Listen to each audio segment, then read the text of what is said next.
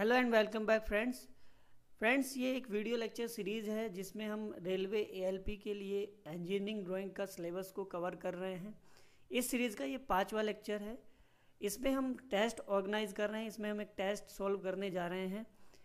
तो अगर आप रेलवे एएलपी के लिए तैयारी कर रहे हैं और अगर आप सीधे हमारे इस वीडियो एपिसोड पर आए हैं तो इससे पहले जो इस सीरीज़ के चार वीडियो एपिसोड हैं, उनको ज़रूर देखें। और फ्रेंड्स, ये वीडियो एपिसोड आपके लिए बहुत ज़्यादा इंपॉर्टेंट होगा क्योंकि इसमें जो हम ड्राइंग इंस्ट्रूमेंट और लाइन से जो इतने भी सवाल आ सकते हैं एग्ज़ाम में, वो सभी हमने इसमें कवर किए हुए हैं। टोटल थर्टी थ्री क्वेश्चन है। एक भी सवाल को स्किप मत कीजिएगा क्योंकि सारे के सारे सवाल बहुत ही ज़्यादा इम्पोर्टेंट है। और फ्रेंड्स ये जो वीडियो लेक्चर सीरीज़ है हमारी इंग्लिश और हिंदी मीडियम के जो स्टूडेंट्स हैं, उन दोनों के लिए ही इम्पोर्टेंट है बेनिफिशियल है। तो अगर आपको वीडियो पसंद आता है तो वीडियो को शेयर कीजिए और हमारे चैनल को सब्सक्राइब भी कीजिए। चलिए स्टार्ट करते हैं। ये टेस्ट है और हमारा इस वीडियो लेक्चर सीरीज़ का पाँचवा एपिसोड है। इसमें हमने थर्टी थ्री क्वेश्चन यहाँ पर किए हुए हैं। तो पहले क्वेश्चन को पढ़ने के बाद मैं आपको पाँच सेकेंड दूँगा। उसमें आपको अपना आंसर चूज़ कर लेना है फिर देख लेना है कि आपका आंसर सही है या गलत है। सो so, स्टार्ट करते हैं। क्वेश्चन नंबर वन है 90 डिग्री कोण ड्रॉ करने के लिए किस उपकरण का उपयोग किया जाता है?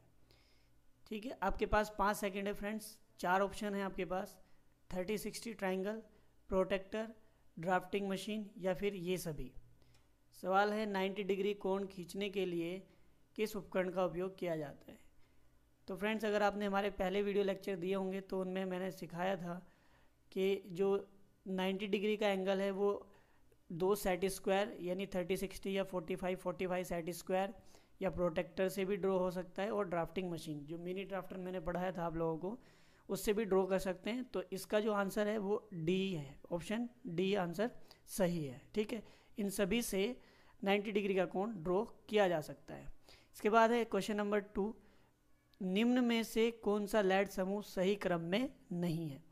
तो ये लेड समूह में फ्रेंड्स मैंने आपको बताया था 18 प्रकार की पेंसिल होती हैं नाइन एच से सेवन बी नाइन एच सबसे कठोरतम होती है और फिर एट एच सेवन एच इस तरीके से ये पेंसिल सॉफ्ट में बदलती चली जाती हैं।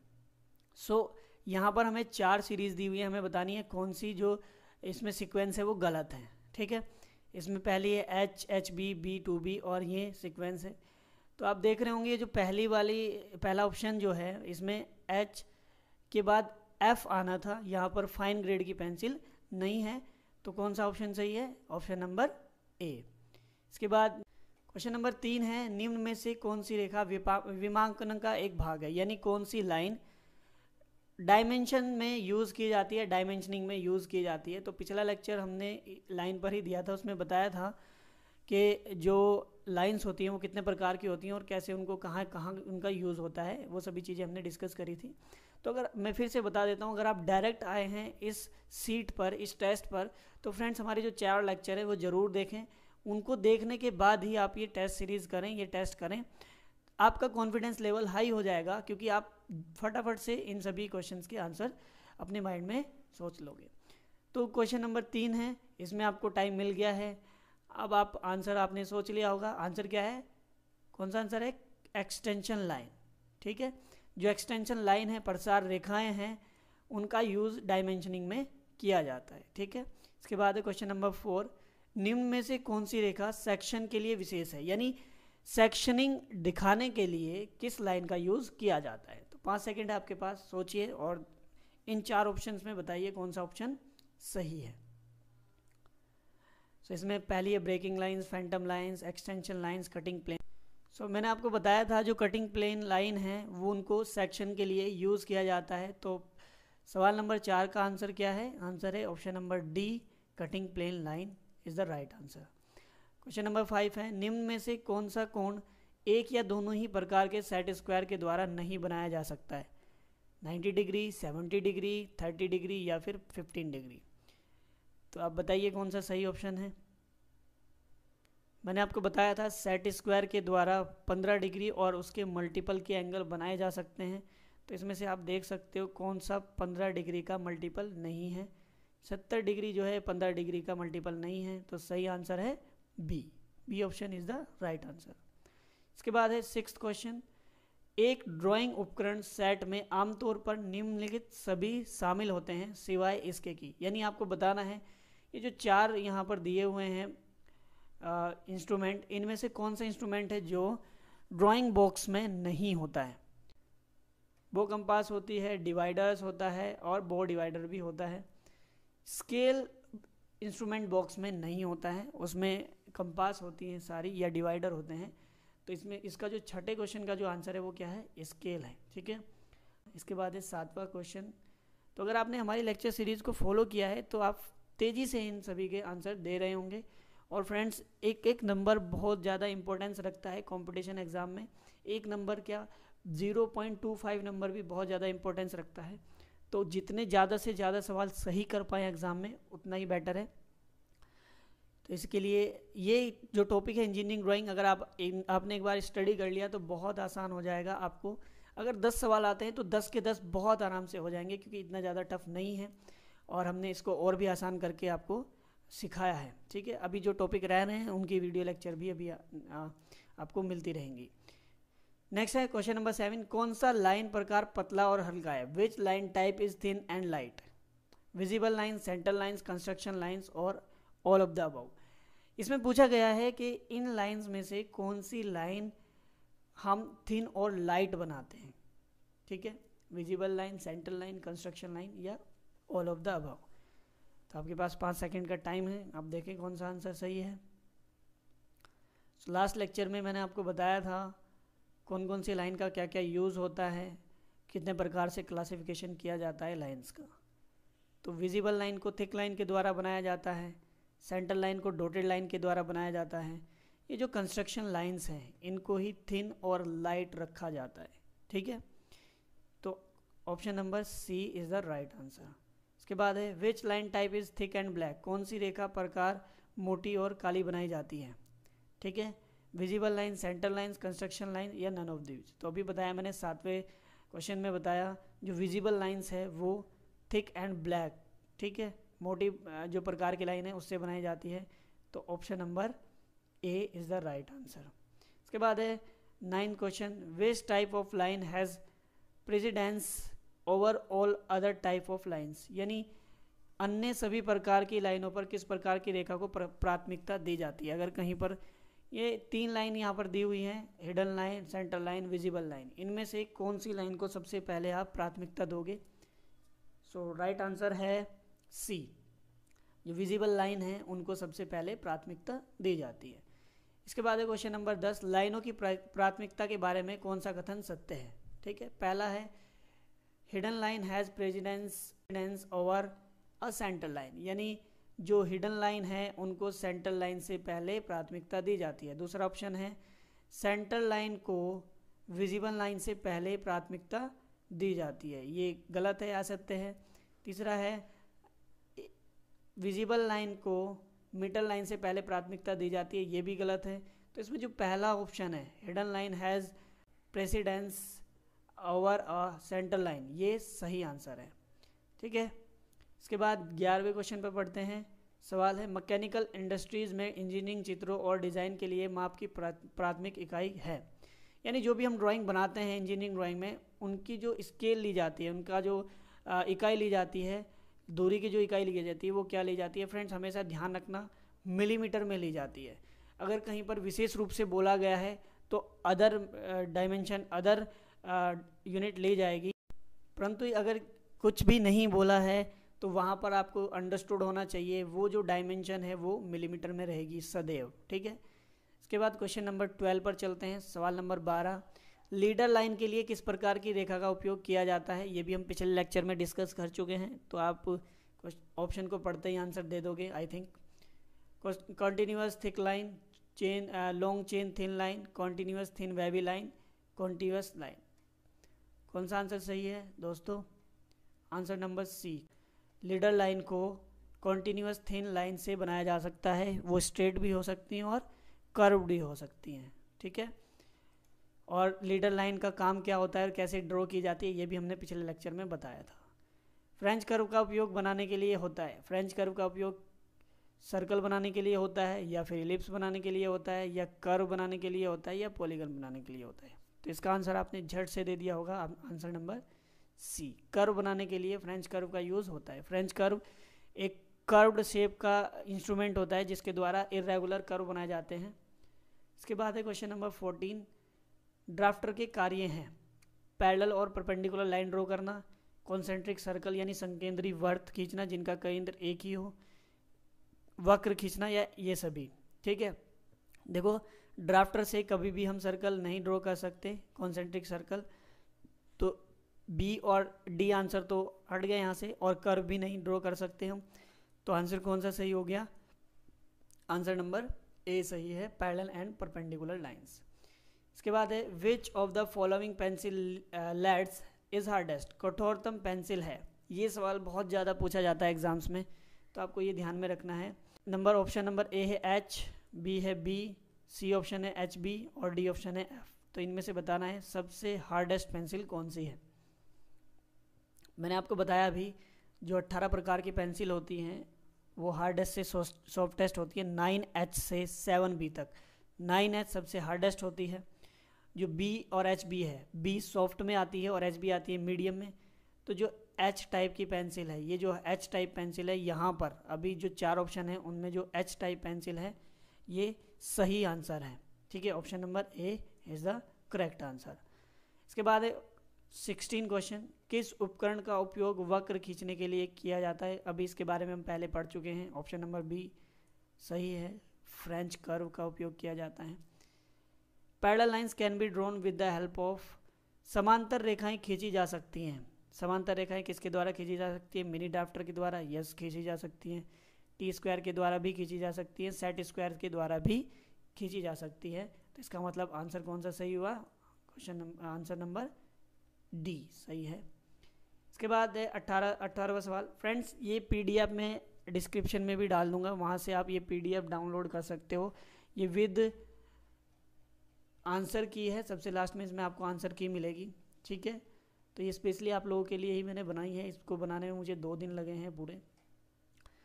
अट्ठारहवा है a series of paper has length two with ratio approximately drawing sheet की लंबाई तथा चौड़ाई का अनुपात होता है। हमने सबसे पहले लेक्चर में बताया था कौन सा होता है, देखते हैं आपको याद है या नहीं है।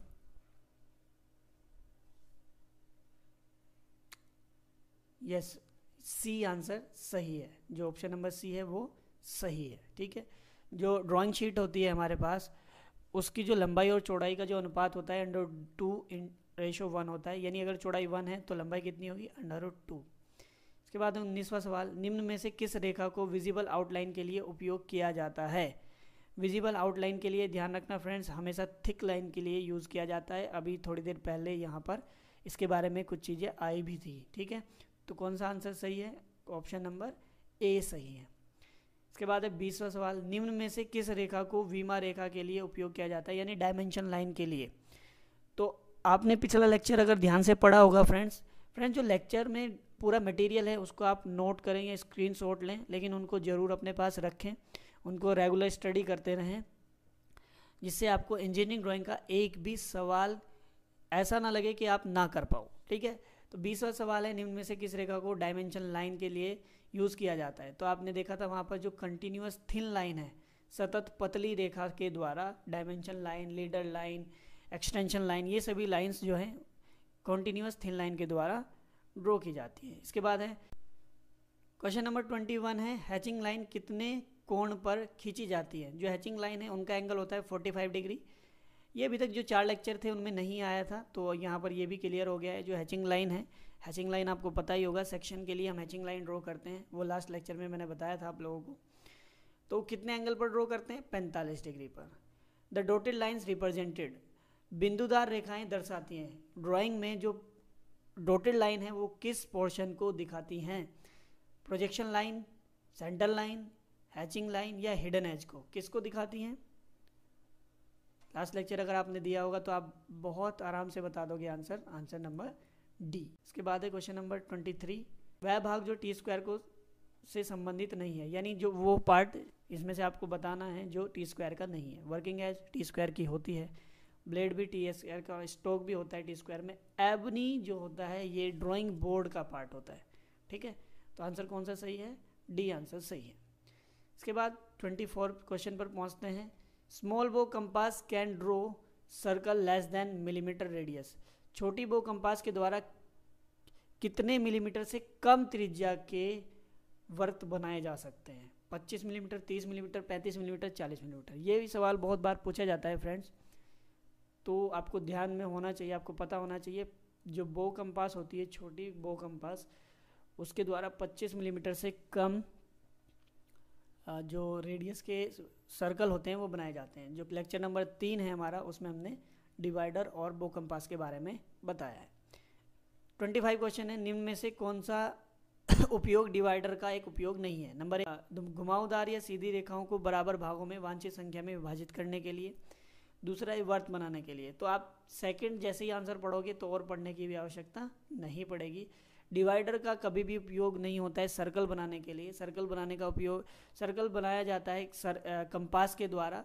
डिवाइडर का यू, यूज़ होता है सिर्फ़ डायमेंशन को शीट पर ट्रांसफ़र करने के लिए या किसी लाइन को डिवाइड करने के लिए। ये यूज़ होता है डिवाइडर का। सर्कल कभी भी नहीं बनाया जाता डिवाइडर से। क्वेश्चन नंबर ट्वेंटी सिक्स निम्न में से कौन सा उपकरण क्षैतिज रेखाएँ खींचने के लिए उपयोग में किया जाता है? जिसने पहला लेक्चर हमारा दिया है, बहुत आराम से बता सकता है। आंसर है टी स्क्वायर यहाँ मिनी ड्राफ्टर भी गिवन है तो मिनी ड्राफ्टर भी हो सकता है, लेकिन मिनी ड्राफ्टर के और बहुत सारे पर्पज होते हैं। यहाँ सीधा सीधा आपसे पूछा गया है ओनली क्षैतिज रेखाएँ। तो जो टी स्क्वायर होता है, वो केवल अक्षेतिज पैरल लाइन ड्रॉ करने के लिए यूज़ होता है। तो यहाँ पर जो आंसर होगा, वो कौन सा होगा? सी इसके बाद है ट्वेंटी सेवन जो बड़ी त्रिज्या के वर्त, यानी लार्ज साइज़ के जो सर्कल होते हैं, उनको बनाने के लिए किस उपकरण का उपयोग किया जाता है? बो कंपास का लेंथनिंग बार का कंपास डिवाइडर या प्रोटेक्टर्स फ्रेंड्स आपको पता होना चाहिए, और लास्ट लेक्चर में भी हमने बताया है कि अगर आपको लार्ज साइज़ के सर्कल ड्रॉ करने हैं तो कंपास में एक डिवाइस होती है, जिसका नाम है लेंथनिंग बार इसको जोड़ा जाता है। तो सत्ताईसवें क्वेश्चन का आंसर है बी लेंथनिंग बार जोड़ा जाता है लार्ज साइज़ के सर्कल ड्रॉ करने के लिए। इसके बाद है question number twenty eight drawing sheet को ड्राइंग बोर्ड पर सेट करने के लिए निम्न में से कौन सा ड्राइंग टूल उपयोग नहीं किया जाता है? Drawing clips drawing pins divider adhesive tape तो ये तो आप बड़े आराम से बता सकते हो डिवाइडर एक इंस्ट्रूमेंट है जो कि यूज़ होता है डायमेंशन ट्रांसफ़र करने के लिए, न कि ड्राइंग शीट को ड्राइंग बोर्ड पर चिपकाने के लिए। क्वेश्चन नंबर ट्वेंटी नाइन भारतीय मानक संस्थान के अनुसार मिलीमीटर में पदनाम ए थ्री का आकार क्या है? आपको यहाँ पर ये ड्राइंग शीट का साइज़ बताना है। ए थ्री साइज़ का जो ड्राइंग शीट होता है, वो इनमें से कौन सा है? ये वाला है बी है सी है या डी है? ठीक है? तो अगर आपने पहला लेक्चर दिया हुआ है तो आप बड़े आराम से बताओगे कि सर ए है। ठीक है? तो ट्वेंटी नाइन का आंसर हो जाएगा ए निम्नलिखित में से कौन सा ग्रेड सबसे कठोर है। फिर एक और सवाल आ गया है कठोरतम का। तो नाइन एच से सेवन बी आप जैसे ही करते हो nine H eight H seven H six H यहाँ से कठोरनेस इसकी कम होती चली जाती है। यहाँ पर अब देखते हैं एच में दो ही है हमारे पास। देख, मैंने आपको बताया बी की जब भी बात होगी तो सॉफ्ट एच भी अगर कहीं लिखा होगा तो मीडियम एच कहीं लिखा है तो हार्ड अब यहाँ पर कंपैरिजन करते हैं सिक्स एच तो इसमें जो सिक्स एच आता है, वो हार्डनेस से सॉफ्टनेस की तरफ़ चलते हुए सबसे पहले आता है तो इसलिए सबसे हार्ड पेंसिल कौन सी होगी? सिक्स एच पेंसिल जो यहाँ पर गिवन है, उनमें से, ठीक है? वैसे अगर हार्डेस्ट की बात करें तो नाइन एच सबसे कठोर पेंसिल होती है। बढ़ते हैं फ्रेंड्स अब क्वेश्चन नंबर थर्टी वन की तरफ़, जो है आपको बताना है 210 मिलीमीटर इंटू टू मिलीमीटर से अगला जो साइज़ होगा, वो क्या होगा? फ्रेंड्स, ये साइज़ है ड्राइंग शीट का, जो A zero A one A two A three A four और ए फाइव तक गिवन किया जाता है। ये ए फोर साइज़ है, आपको बताना है इससे नेक्स्ट यानी ए फाइव साइज़ तो इन चार ऑप्शंस में तो आपको बताना है। तो इसमें जो ऑप्शन नंबर वन है, ये करेक्ट आंसर है। नेक्स्ट बढ़ते हैं थर्टी टू क्वेश्चन पर। बोर्ड के किनारे पर टी स्क्वायर स्लाइड करने के लिए बनाया जाता है। बोर्ड के किनारे पर टी स्क्वायर चलाने के लिए इनमें से कौन सी चीज़ें जो बनाई जाती है बोर्ड पर? तो इनमें से जो डी है ऑप्शन एबनी जो है, वो बोर्ड के किनारे पर बनाई जाती है। इसके बाद है लास्ट क्वेश्चन वार्पिंग क्रिया रोकने के लिए बोर्ड पर, बोर्ड के बैक पर लगाई जाती हैं। वार्पिंग क्या होता है? जो ड्राइंग बोर्ड जिस लकड़ी से हम बनाते हैं, वो लकड़ी मौसम के चेंज होने पर, वायुमंडल के चेंज होने पर उसमें फूल जाती हैं वो, या उनमें गैप आ जाता है। तो उस क्रिया को रोकने के लिए बैटन्स लगाई जाती हैं। तो option number D is the correct answer. तो ये कुछ सवाल थे जो लाइन और इंस्ट्रूमेंट से रिलेटेड थे, जो एग्ज़ाम के लिए बहुत ज़्यादा इंपॉर्टेंट है। मुझे लगता है आपको ये वीडियो बहुत पसंद आया होगा तो वीडियो को शेयर ज़रूर करें। मिलते हैं नेक्स्ट वीडियो एपिसोड में।